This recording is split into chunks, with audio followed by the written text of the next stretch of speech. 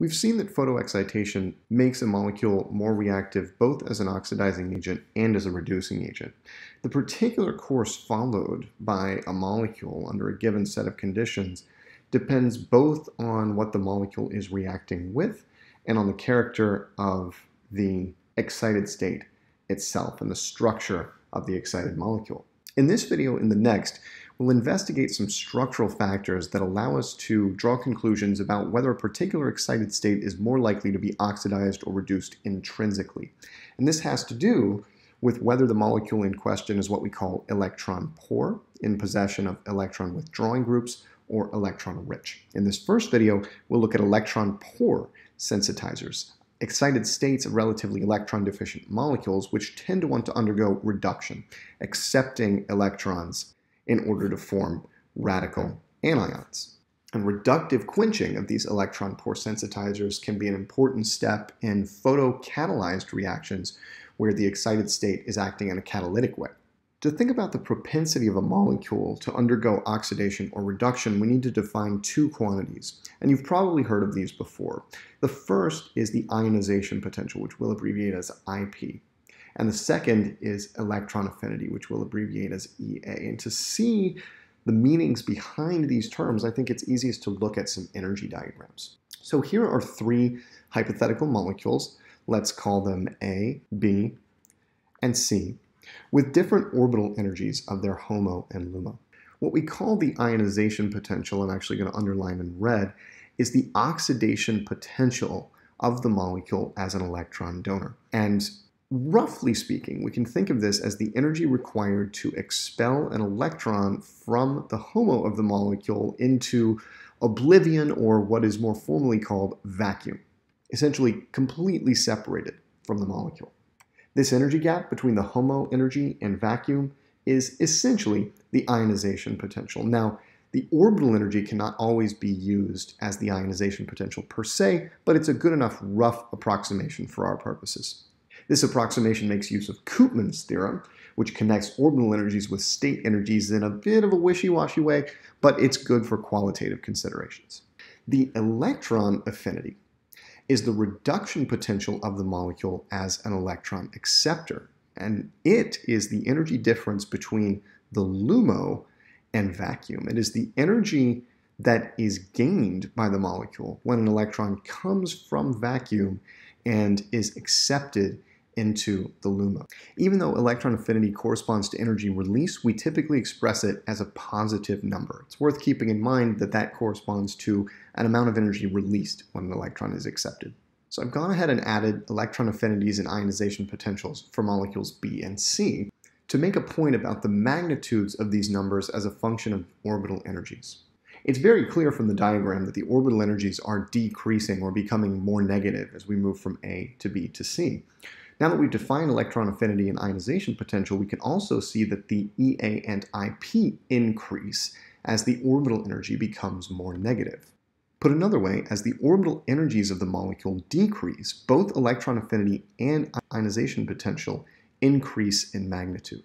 It becomes more energy releasing to accept an electron into the lower energy LUMO, and it becomes more difficult to eject an electron from the lower energy HOMO as those orbital energies decrease. And given that electron affinity and ionization potential are more or less, again, approximately rooted in these orbital energies, we can start to understand the structural factors that affect ionization potential and, and electron affinity. And the first, and perhaps the most important, is the electronegativity of atoms involved in the molecule. The more electronegative the atoms are in the molecule, the greater the ionization potential, since the orbital energies are lower by definition, essentially, and the greater is the electron affinity. The other thing worth looking at here is resonance electron donation or withdrawal. Groups that donate electrons via resonance tend to push up orbital energies and make electron affinity and ionization potential decrease in magnitude, while withdrawing groups tend to increase ionization potential and electron affinity by lowering those orbital energies. One last thing I'll mention that's sort of a related point is that the presence of non-bonding lone pairs tends to decrease ionization potential because those non-bonding lone pairs tend to be higher energy than bonding electrons, and so they're easier to ionize for that reason. Ionization potential and electron affinity clearly are related to the propensity of a molecule to undergo oxidation and reduction. The greater the magnitude of electron affinity, the more likely a molecule is to undergo reduction, since it's more stabilizing, more energy lowering for the molecule to accept electrons. On the other hand, the greater the ionization potential, the more difficult it is to oxidize the molecule in question, since the electron that would be removed in the oxidation process is lower in energy. Just to sum that up, we can note that C of these three molecules is the hardest to oxidize because it has the greatest ionization potential and the lowest HOMO energy. For exactly the same reason, compound A is the easiest to oxidize. It has the lowest ionization potential and the highest energy HOMO. Likewise, we can connect electron affinity with the propensity of a molecule to be reduced. Molecule C is the easiest to reduce because of its very large electron affinity, the great amount of energy released when an electron is accepted into the LUMO. Molecule A, on the other hand, is the hardest to reduce because of its relatively high energy LUMO. Now, in electron poor molecules, we have what are called electron withdrawing groups. I cover electron withdrawing and donating groups in more detail in my Chem 2311 playlist, so I'll link to a video there within this video. But here I just want to briefly review what constitutes a resonance withdrawing group. So the general picture of a resonance electron withdrawing group is some atom X which is connected to a pi system. Typically here we'll have a double bond, triple bond, aromatic ring, etc. X is connected via a double or triple bond to a Y, and Y is more electronegative than X. And so X is partially positive, Y partially negative, and there is a propensity or a tendency of the pi electrons to head towards Y. And so we can think about resonance structures where we pull electron density from the pi system and end up giving it to Y. Now, the classic example of a resonance electron withdrawing group is the carbonyl. You know, for example, in an alpha beta unsaturated carbonyl compound, the carbonyl group is withdrawing electron density from the attached carbon-carbon double bond through this kind of resonance. Another classic example is the cyano group, the CN triple bond. For similar reasons, with the nitrogen being more electronegative than the carbon atom, the cyano group pulls electron density from an attached pi system. So in a molecule like acrylonitrile, we have a very important resonance form where there's negative charge on the nitrogen atom and positive charge on that distal carbon atom on the other end of the pi system. One last group I'll mention is the SO double bond, which has the propensity to act as an electron withdrawing group via resonance. And so, for example, we can look at a sulfoxide or sulfone and see the electron withdrawing power of the SO double bond oxygen being more electronegative than sulfur, resonance structures that pull electron density from here the attached CC pi bond are very important to consider. So having seen this general picture of what an electron withdrawing group looks like, we can now ask the question, what is the effect of an electron withdrawing group on the electron affinity and ionization potential of an attached pi system? Is photoexcited acrylonitrile more likely to accept an electron or donate an electron? And there's an intuition here, so I encourage you actually to pause the video and think through this before I reveal the next part of this slide and talk through the answer.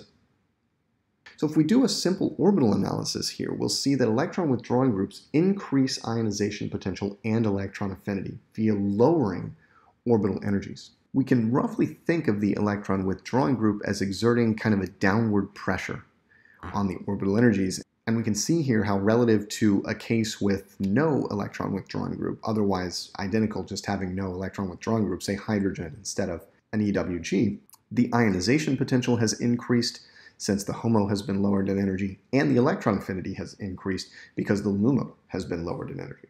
This increase in ionization potential and electron affinity has two important implications. The molecule is now easier to reduce and it's harder to oxidize. So typically these compounds containing electron withdrawing groups will undergo reductive quenching upon photoexcitation.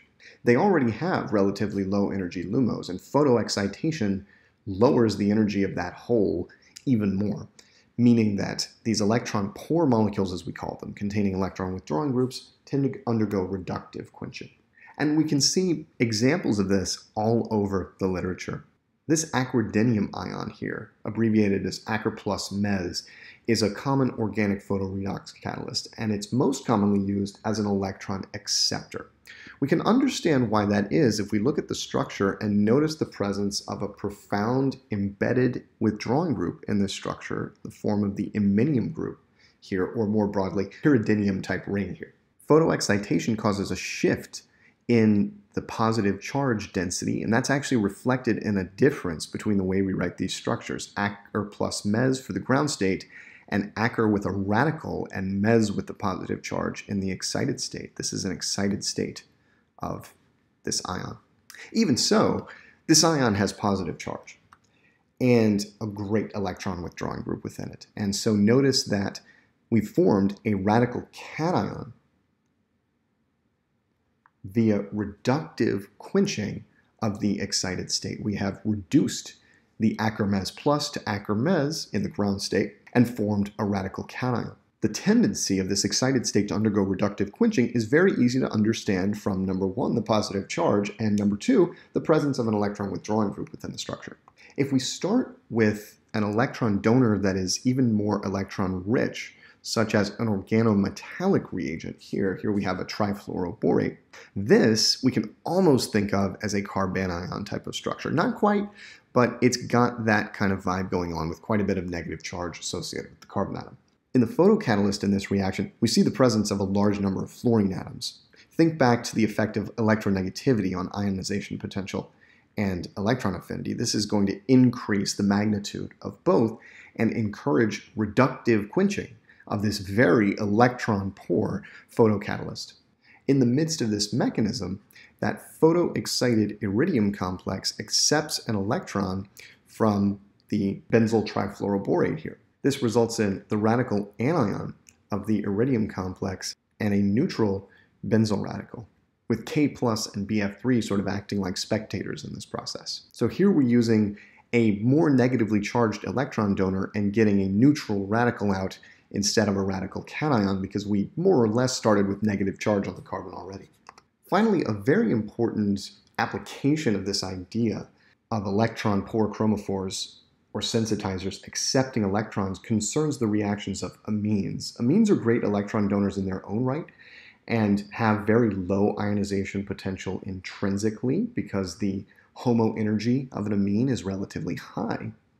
Under these circumstances, we can use even kind of electron neutral sensitizers. So there are no great electron withdrawing groups in this complex aside from the CN double bonds. This is relatively electron neutral and even this iridium complex can accept an electron from an amine to form an iminium radical cation. And you can see that key step right here in the conversion of 13 to 14. The iridium complex is photoexcited and it accepts an electron from the amine to form the amines radical cation. And although this kind of obscures it via the change in oxidation state, an anion, quote unquote, a radical anion of the iridium complex, which has iridium in the plus two oxidation state. This happens even with this relatively electron neutral iridium complex because 13 has a very low ionization potential, and this is very typical of amines and some weak inorganic bases such as carbonate.